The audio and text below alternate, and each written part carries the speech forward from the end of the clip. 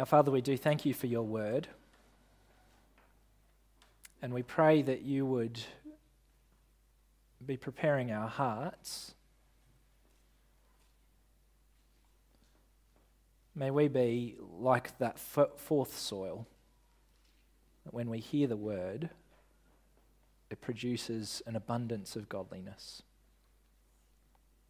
We thank you for already speaking to us.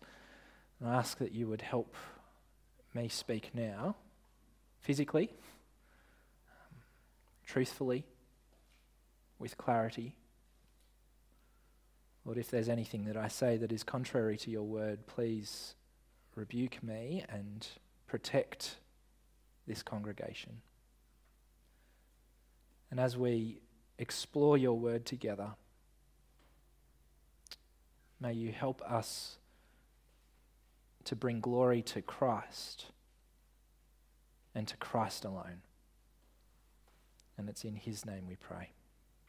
Amen. Well, friends, what's your deepest desire? As you woke up this morning, what was the first thing that you thought? Do you wish for more time with family? more resources to do the things that you enjoy. Perhaps your biggest wish is for world peace, that wars would cease. Or maybe a bit closer to home for rain. If you're anything like me, I don't often wake up thinking, gee, I'm looking forward to getting to know Jesus better today. I'm looking forward to speaking more about Jesus today, to boast in him. Which makes Paul's last few verses of Galatians a really challenging one for us. This longing to look to Christ, to know him more, to boast in him, it doesn't come naturally to us. In these verses, Paul wraps up his whole letter. And what we're going to do is have a look at these uh, verses from chapter 6, from 6 verse 6 onwards to the end, uh, and think about it in a sermon in three parts. Uh, first, we'll see Paul's basic exhortation to boast only in Christ. Uh, secondly, we'll ask the question why boast in Christ? What, for what reasons? And finally, we'll see that boasting in Christ enables us to truly love one another. You ready? Good. Number one, make your, make your boast Christ. Uh, in these last few verses of Galatians, Paul, Galatians, Paul is hammering home his main point in writing to the Galatians, his, his whole letter. His main point is to constantly look to Christ. Or as he says in verse 14, our key verse, to boast in Christ. May I never boast of anything except the cross of our Lord Jesus Christ. Well, this is a personal exclamation from Paul. He says his own boast will be in, in Christ, but it's also what he's been exhorting the church to do right throughout his letter. Don't be deceived by those who boast in anything else, he's said. In the Galatian context, it's those agitators who've come boasting in other things than the gospel. They'd made other things higher on their priority list, much higher than Christ.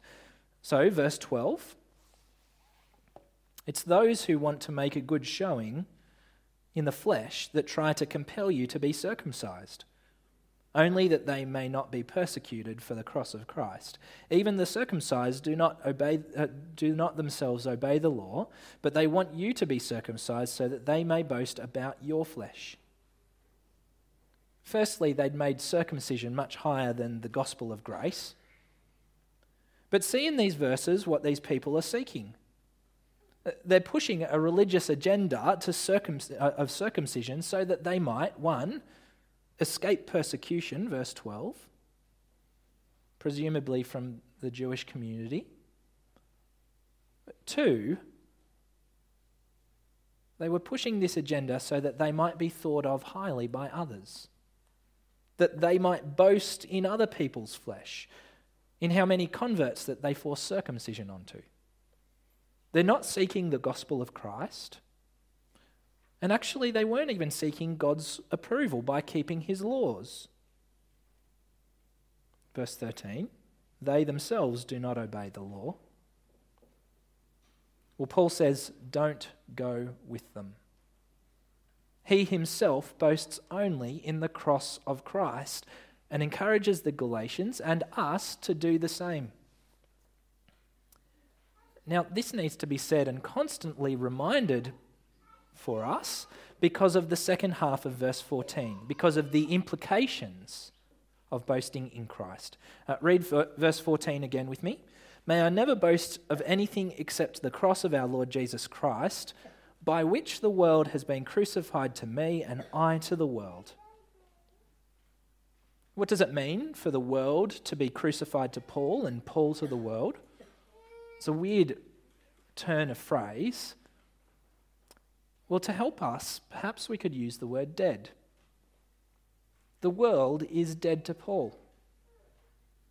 And Paul is now dead to the world. He's saying that there is a lasting separation between the world and the Christian. Uh, we saw this last week, didn't we?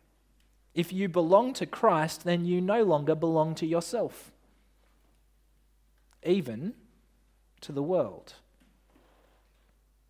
And so the worldly, fleshly things that we would normally do, that we would revel in, are no longer the things that identify us, that we seek after, that we do. The world is dead to us, crucified. But what about us being crucified to the world?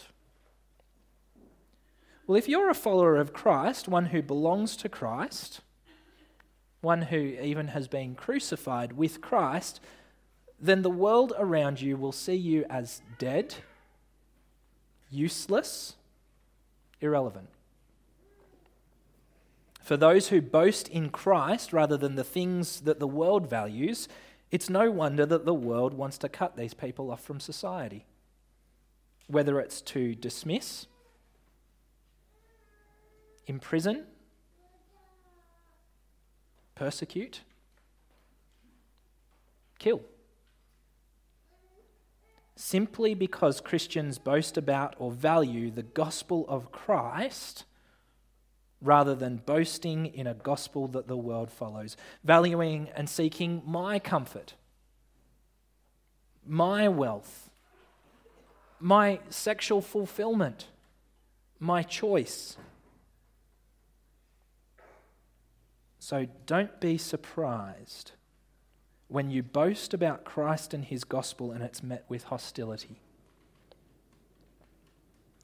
This is the first thing that Paul reminds the Galatian churches and us to make our boast, like he does, in the cross of Christ, the gospel of Christ, and this alone. And the implication is that we will no longer desire and seek what the world does. That old way is dead to us. And in turn, we will lose face with the world. They will cut us off, even crucify us, just like our Saviour, whom we boast in. Well, if boasting in Christ has such an effect on us, to lose face and be cut off, even persecuted by those around us, why on earth would we do such a thing? Well, this question's not left unanswered by Paul, and his answer forms the second point of today's sermon. Number two, we are to boast in Christ because only Christ matters. Leading up to our passage today, if you remember last week, we've seen Paul create this contrast between the flesh and the spirit. The, the way the world works is by the flesh, it's corrupt, it will not last. But Christ works by the spirit fruit that is eternal and, and matters deeply. Well, we see this contrast in verse 8 of our passage today as well. If you sow to your own flesh, you will reap corruption from the flesh. But if you sow to the Spirit, you will reap eternal life from the Spirit. And have a look down in verse 15 as well. For neither circumcision nor uncircumcision is anything, but a new creation is everything. It's here that we see the spiritual effects of the gospel of Christ. Through Christ's death and resurrection, God is making a new creation out of us. We've seen this all along in Galatians. God pulls us into his family, adopts us as his very own, gives us a new name, his own name. He puts his spirit in us, he enables us to live godly lives. It's what God does to and for us through Jesus in making us a new creation that counts. Not whether we follow the law or not. It's not circumcision that counts, nor baptism, nor anything we do in the flesh. These things do not save us. But God, making us his people, a new creation through Jesus' death and resurrection. This is what saves. This is what makes all the difference. So boast in this and boast in this alone, loudly. Everything else is trivial in the face of Christ crucified for us. We come back to the question why would we boast in Christ if it's going to cut us off from the world, from those around us? Well, we must recognize that it's only in Jesus. It's only Jesus that makes a difference in our relationship with Almighty God. Verse 16 As for those who will follow this rule, peace be upon them, and mercy, and upon the Israel of God. Don't worry about being separated from the world, Paul says, or even being crucified by the world by boasting in Christ. Instead, know that you have peace and mercy from God. You are included in his family, in the Israel of God. That's the spiritual Israel, not the ethnic one. To all whom God has promised blessing. Well, if boasting in Christ means that there's a disconnect between us and the world, we no longer follow the worldly way, the world cuts us off for it. Does that mean that we no longer have any responsibility to the world around us, to the world out there? Or even worse, does it mean that we can simply treat the world around us how they treat us? Eye for eye, tooth for tooth. Well, I hope you realize in this passage and everywhere else in the Bible, mind you, that the gospel of Christ does not leave us with this conclusion. This is the third point that we see today. Number three, boasting in the gospel of Jesus enables us and even motivates us to love others. Have a look in verse 9. So let us not grow weary in doing what is right, for we will reap at harvest time if we do not give up. So then, whenever we have an opportunity, let us work for the good of all, especially for those of the family of faith. Those who boast in Christ do so because the spiritual realm matters. But we don't become monks who try to escape the flesh. No. We don't just leave the world to its own devices. We don't use our flesh to do what is evil, to divide, bring down. No. We are to constantly be engaged in doing what is right for the good of all, first our Christian brother and sister, but also without neglecting those who are not yet Christians. And this is only possible because Christ has made you a new creation. If we still belonged to the world, well, we saw what kind of behavior characterized that identity, don't we?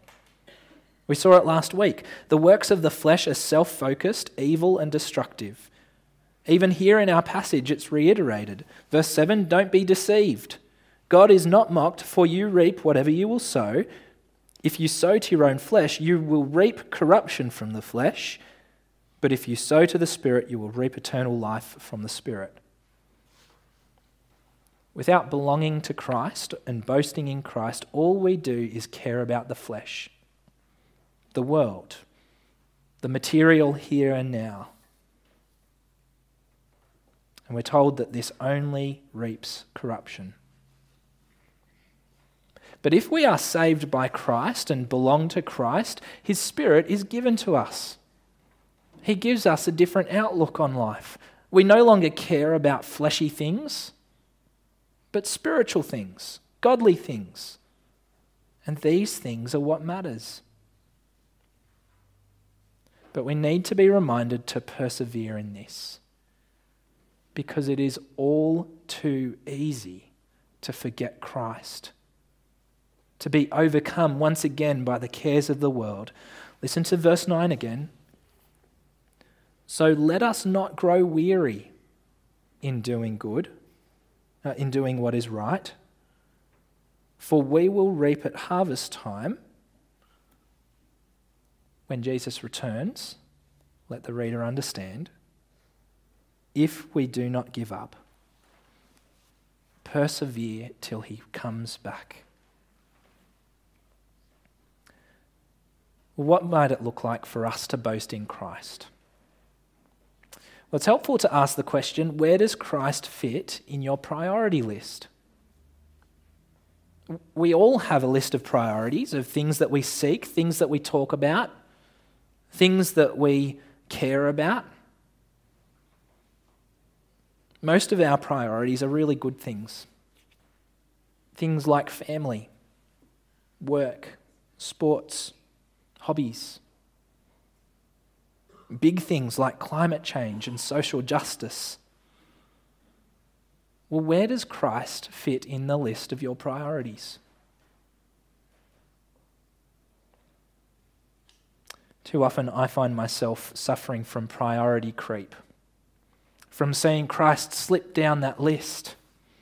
Sure, I'm still a Christian, still know God and want to live for Him, but this here is really important. The cares of this fleshly world become bigger than seeking and trying to please Christ. Paul's encouragement is to boast in nothing except in Christ. Now, this doesn't mean that we don't have other responsibilities and priorities in life,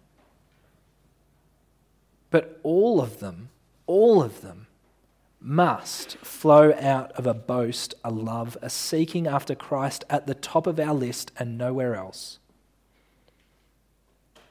It helps us look after our families,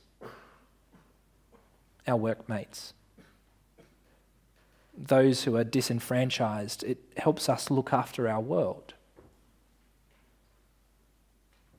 But we get it wrong when we focus on those things above Christ.